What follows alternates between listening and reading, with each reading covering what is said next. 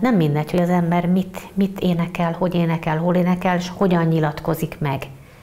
Mert én már civilben sem lehetek akármilyen, hiszen, hiszen hogyha sok fiatalnak példaképe vagyok, akkor tényleg úgy is kell élnem vagy viselkednem. De hát persze az ember önkéntelenül is szószólója mindig, mindenhol és mindenkor annak a kultúrának és annak a zenének, amelytől olyan sokat kapott, és aminek nagy örömmel a, a, a prókátora, a szószólója, az előadója.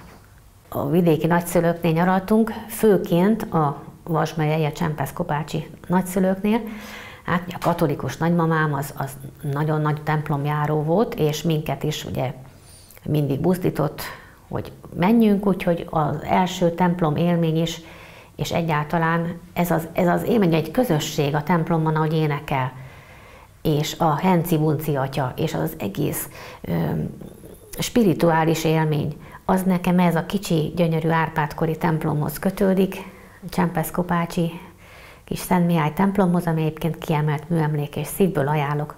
Ajánlom mindenkinek, ha arra jár. Ebben a kis templomban tapasztaltam meg először azt, hogy hogy költözik az ember szívébe az Isten. Miközben énekel. Tehát, hogy egészen más dolog egy ilyen, egy ilyen térben énekelni, és nagyon szeretek templomban koncertezni azóta is. Tehát egészen más repertoár illik oda, és ez közel áll hozzám. Tehát nekem például egyáltalán nem való a szabadtéri hangos helyehújás koncert. Erre én alkalmatlan is vagyok, lelki alkatomnál fogva és hangomnál fogva is, meg nincs erre igényem se.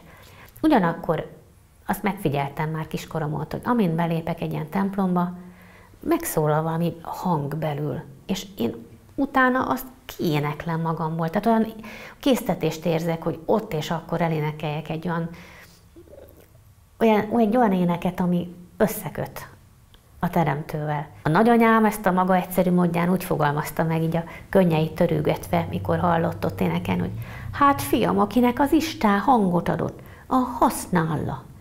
Úgyhogy tulajdonképpen egy se csinálok, mint használom, ugye magam és mások örömére, és föltételezve azt, hogy aki énekel, kétszer imádkozik.